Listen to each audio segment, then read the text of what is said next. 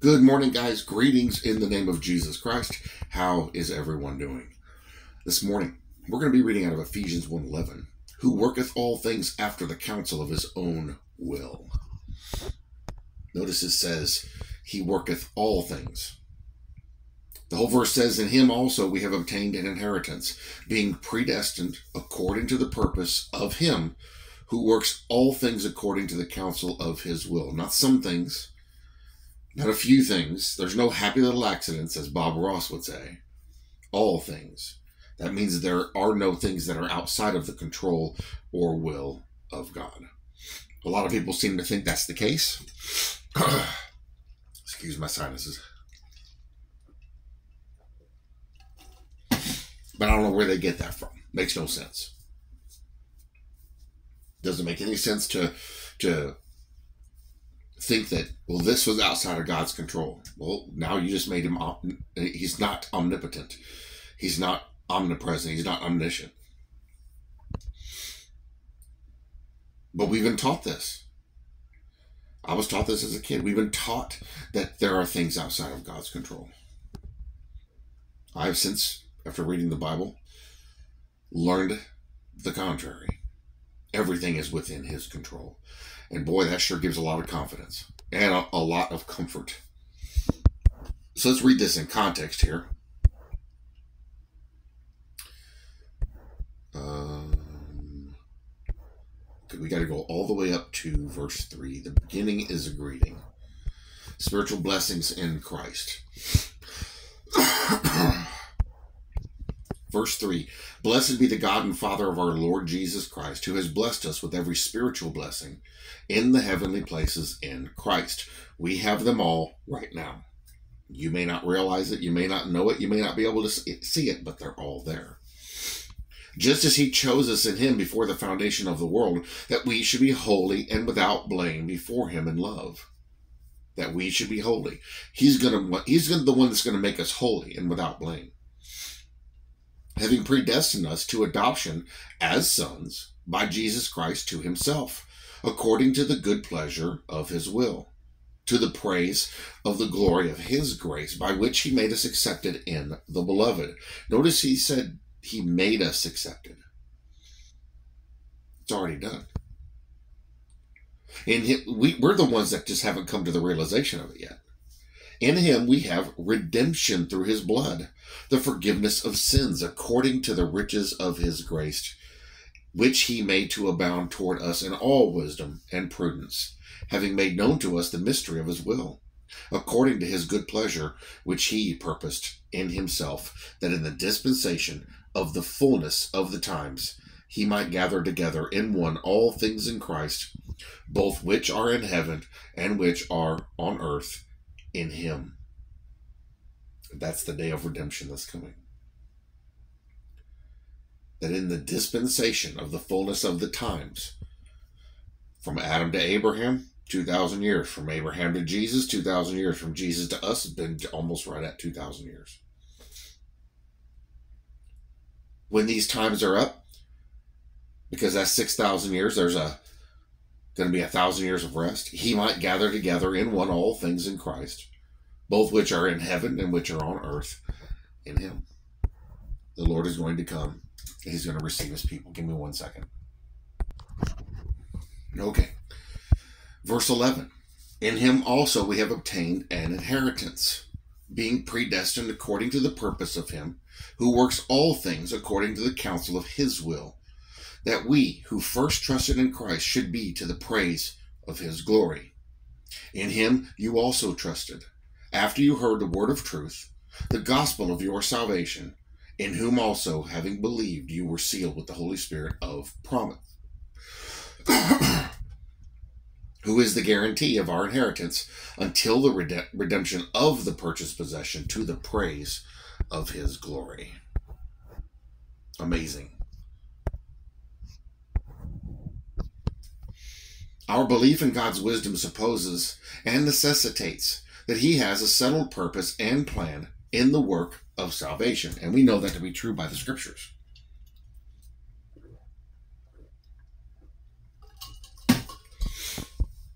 What would creation have been without His design That's very interesting.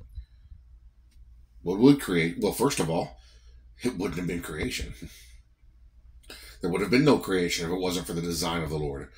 Is there a fish in the sea or a fowl in the air which was left to chance for its formation? Evolutionists would say that's the case. I tell you this if evolution was true, you wouldn't have what you have today as far as the animals go and the plants go. It, they would be grotesque, monstrous things because everything would be fighting for survival. The reason why it all works in unison is because it was created to do that. Nay, in every bone, joint, and muscle, sinew, gland, and blood vessel, you mark the presence of a God working everything according to the design of infinite wisdom. Did you ever see that diagram where they showed, because some, some scientists, you know, we've got abilities to look at things much close, more closely uh, with more powerful telescopes or uh, microscopes and uh, they looked at a, a single celled amoeba, the one with a little tail that you see under the microscope. So small you can't see it. It's on your scans all over the place. And so they were they zoomed in real tight on its tail. Now this thing is microscopic. It's small. Well, they zoomed in on its tail. Now you would think a creature so small, a single celled, wouldn't be complicated. I forget what the number was. It was like like 36, like the tail has 36 parts. It's an engine. It has 36 parts that make it move. I'm probably wrong on the number. It may have even been more. But if you ever find that, you know, it talks about how it's a little motor, a little uh, organic motor, biomechanical motor, and it's made up of parts. It's very complicated. And it blew their mind when they saw that. And they're like, that's not by accident. That's by creation. And God shall be present in creation, ruling over all, and not in grace. So God's going to do that, but he won't show grace. Shall the new creation have the fickle genius of free will to preside over it when divine counsel rules the old creation? Look at providence. Who knoweth not that not a sparrow falleth to the ground without your father? Even the hairs of your head are all numbered. God weighs the mountains of our grief in scales. Your suffering has value, guys. That's why that verse says that. He weighs the mountains of our grief in scales and the hills of our tribulation in balances. And there shall be a God in providence and not in grace. He's driving home the point of people picking and choosing when the Bible tells us it's only one way. Shall the shell be ordained by wisdom and the kernel be left to blind chance? No. He knows the end from the beginning. He sees in its appointed place not merely the cornerstone which he has laid in fair colors, in the blood of his dear Son, but he beholds in their ordained position each of the chosen stones taken out of the quarry of nature and polished by his grace. He sees the whole from corner to cornice from base to roof, from foundation to pinnacle. He hath in his mind a clear knowledge of every stone which shall be laid in its prepared space, and how vast the edifice shall be. And when the top stone shall be brought forth with shoutings of grace, grace unto it, at the last it shall be clearly seen that in every chosen vessel of mercy Jehovah did as he willed with his own, and that in every part of the work of grace he accomplished his purpose and glorified his own name. When you see the city of New Jerusalem, it will help you understand. Now, there are many that may not see it, there are many that won't see it, but there are many of us that will. It's a city 1,500 miles across and 1,500 miles high. That's a big city. That's a big city.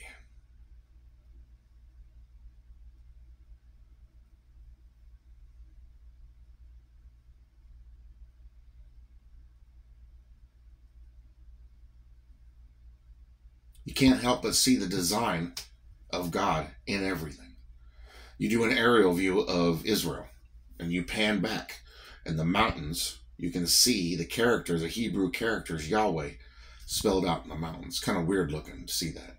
Um, I've seen things uh, in other places that stood out like that, that were natural formations. It's like, whoa, you can't help but see that. Weird stuff like that. You don't think God's going to sign his work? Sure, he is. An artist signs his work. The Lord has put his name and signature on everything. The what makes us up, our DNA, is so complicated it can only be engineered. It can only be designed. Nothing like this would ever form by chance or by accident. It's impossible. See, if you go by evolution, if you go by chance and accident, humans would have never existed. They'd have been killed out immediately. They don't have enough claws. They don't have enough teeth. They don't have enough strength.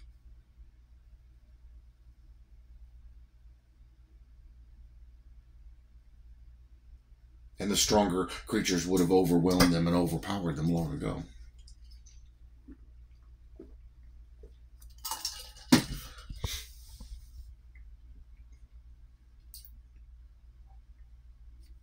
You take uh, groups of monkeys, never seen each other, plop them down in a giant enclosure and don't talk to them, don't touch them, don't feed them, don't do nothing. Let them figure it out for themselves. They will break off anywhere from two, possibly three, up to five groups, depending on how many of these, these monkeys you put in there. And they'll all fight. They'll all fight for territory and they'll all try to kill each other. That's evolution. What we have today is not evolution. What we have today is creation because those things don't happen. there is a restraining force that stops those things from happening. And things go according to the way they should go. Now, a lot of people will say, well, but this thing changed. We can see that this creature does this. That's adaptation, not evolution. Big, big difference. Anything can adapt and it may have to adapt by changing certain aspects or characteristics of, it in order to adapt to that. We do the same thing. So I'm I, I've grown up here in the South, and I have a certain level of accent from living down here. If I go to Australia for ten years, I'm gonna come back with an accent. If I go to Great Britain for 10 years, I'm to come back with an accent. If I go to Ireland for 10 years, I'm going to come back with an accent. I'm going to acclimate to that climate wherever I'm at. I'm going to acclimate to the food. I'm to acclimate to the laws and, the way people do things and how people communicate. And if I come back after that 10 years, I'm going to be different because I adapted. I didn't evolve, I adapted. Creatures do the same thing.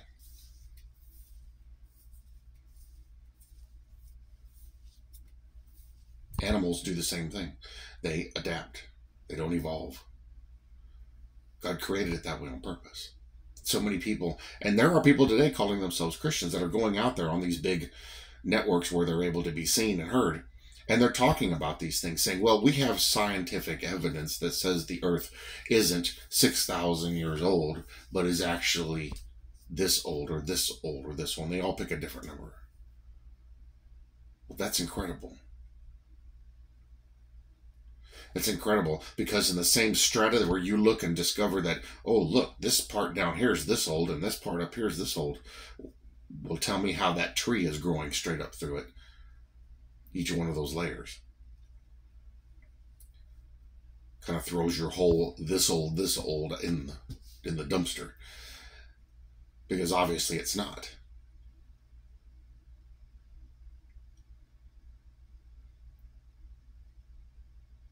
And so for there, it's a big mistake for people to go out there and say, "Oh well, we know the Earth is fifteen thousand or hundred thousand or fourteen million. That one guy was talking about, I saw yesterday. Well, that's not true. The language used in the Book of Genesis says it's a 24 hour day. You just got to look at the original language and, and, look at the definition. It's easy. It's free. You can just go and look at it and go, oh, okay, well that says that. Same thing with the like a lot of people are coming against the 70 week prophecy. Well, how do you know that's weeks of years? Because the language, the, the wording, the words and their definitions say weeks of years. It's literally tells you that's what it is. But they'll do anything they can to justify themselves and justify their understanding. If the Bible says it was created in six days, it was created in six days. And, they'll say, well, you're just blindly believing it. No, I'm reading what the original language said six days. But how do you know that's right? How do you know it's not? Are you going to go based on a supposition where no two scientists can agree? Or are you going to go off what the facts show?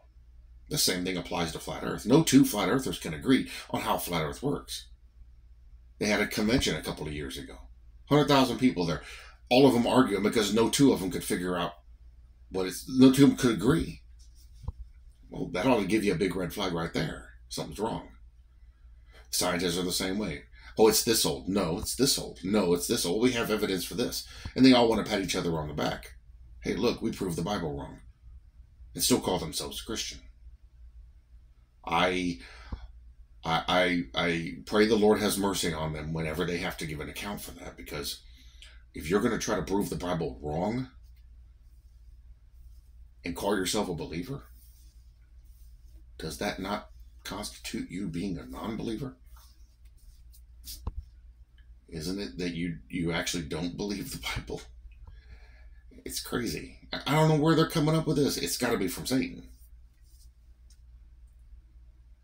So if you're at a crossroads with this, for example, the creation, if you're at a crossroads, Lord, I read what your word says, and it says six days. And I hear all these people that are smarter than me saying, well, we know different than that. Lord, I may not know for sure because I wasn't there, but I'm going to trust your word because I know you won't lie to me. If it says six days, it's six days. It's so funny to me how people are so cavalier about believing this stuff or presenting this stuff, and yet they still call themselves a believing Christian, and they're literally trying to undermine the authority of the Word of God. That's kind of shocking, but that's what they're trying to do. So when we read stuff like this in Ephesians 1, it says that God worketh all these things according to his own counsel, his own will. It doesn't work to what we decide. It doesn't work to what we want. It works to what he says according to his design. And I like that. I like that.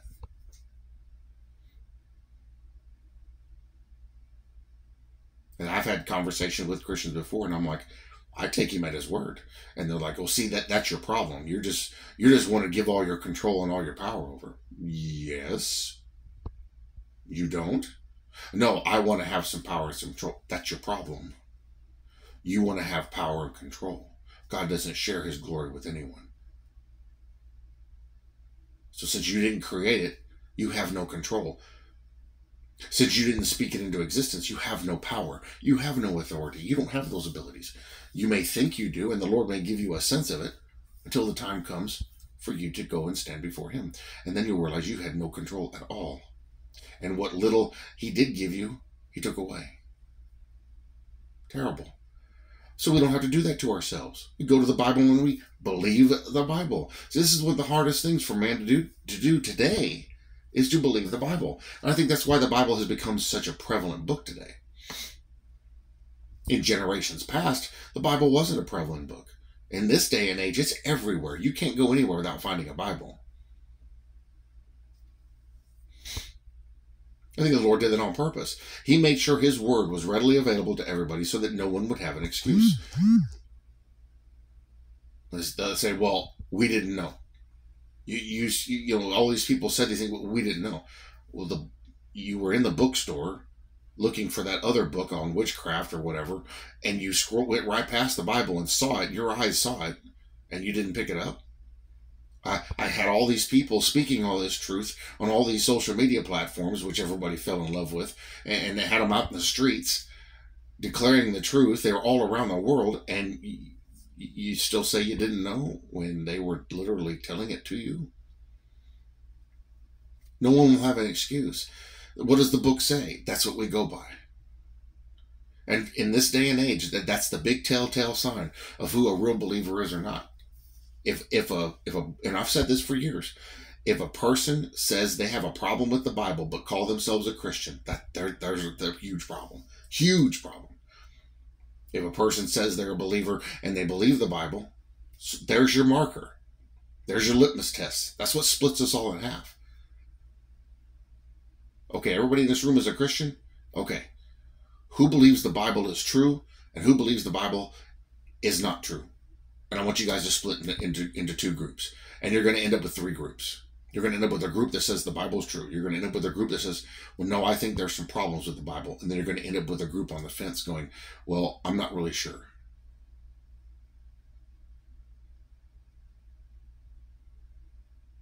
That's where the church is at right now. We're broken into three different groups. We have a tiny little group of just a few individuals that say, yeah, the Bible is true. We have a massive group that says, oh no, the Bible's got problems. We, we can't 100% guarantee it, its authenticity. And then you got a medium sized group that says, I don't know which side to pick. Who do you think's lukewarm of those three groups? Who do you think's cold? Strange days we live in, guys. Strange things that people are doing. This has been a weird year, and it's only going to get weirder before it all changes. So don't be surprised by what you see, and don't be surprised when people come and they attack you because of what you believe. I tell you this as a fact, and people may disagree with me, but the Bible talks about this. I tell you this as a fact. There are people out there who call themselves Christians that want to kill you and I, and want to take our life. And just like the Bible says, they think they are doing God a service by shutting us up. That's why they try so desperately to stop us now. That's why that's why they try so desperately to shut us down and keep us from talking now. That's why they they orchestrate all out assaults on us. If we do a video, social media post, we comment, and they come after us with as many people as they can. They actually make plans on social media and get groups of people together. Hey, all y'all go over to this channel, and y'all are going to go over there and y'all are going to comment uh, against them. When did the Lord tell us to do that? And yet they do.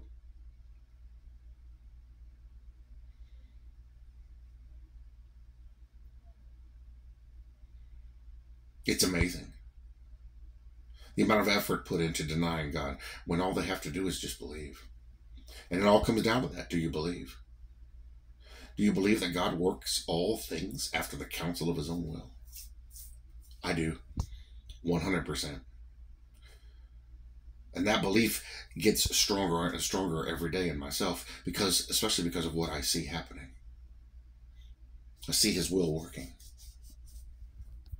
And it encourages me and it is a great blessing to me personally. We can all have that blessing. Do you do we believe? Do we believe the Bible is true? We have more than a mountain of evidence that shows it. You can read all the original writings. There's no excuse. When they talk about the whole thing with the pre-trib rapture, old Darby invented it. I don't know why you're saying that because we have a mountain of evidence that says otherwise.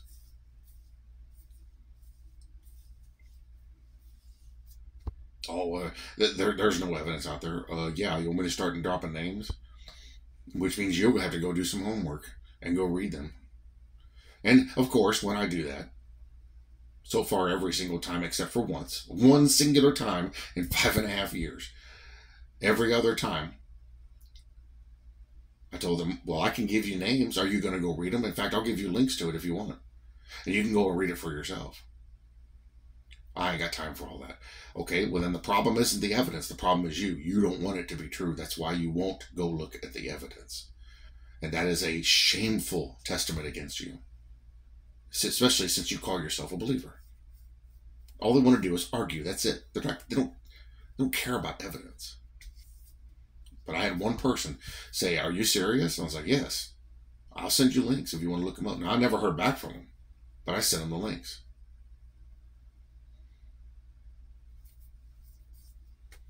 I hope that that person came to a, a greater conclusion.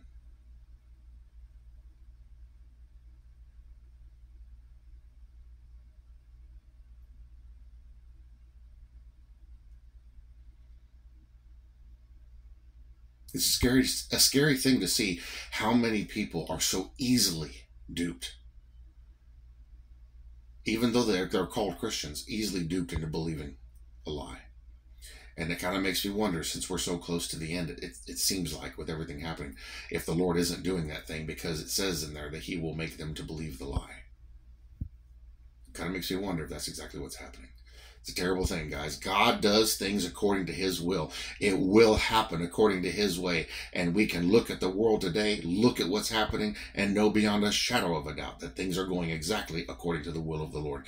Which most notably at this very moment is evidenced by the countries that are currently they're gearing up to wage war against Israel. And what's funny is is that all there's five of them, five key countries. Every one of those countries is named in the Bible as doing that very thing at the end times. Well, amazing. Here they are. They're called by name and they're doing the things the Bible says they were going to do against Israel. Can you imagine? Open a Bible up in one of those countries and read through there. Whoa, wait a minute, that's us. And we're doing that. Hey, somebody needs to call the president. Hey, you need to look at this. The, the, the Christian Bible says this about us, and, and it, we're doing that. Well, that don't mean nothing. This was written 2,000 years ago, and some of these books were longer than that, three and 4,000 years ago. And it, it says these things about us, and we're doing that. And they'll still say, I don't care. What would it take? What will it take to get people to see that God is working His will right in front of our very eyes, all around us every day? Not only on the world stage, but in you and I's life. Do we not see it happening right there before our very eyes? Sure, we do. It's glorious to witness. It's amazing to see. It's incredible.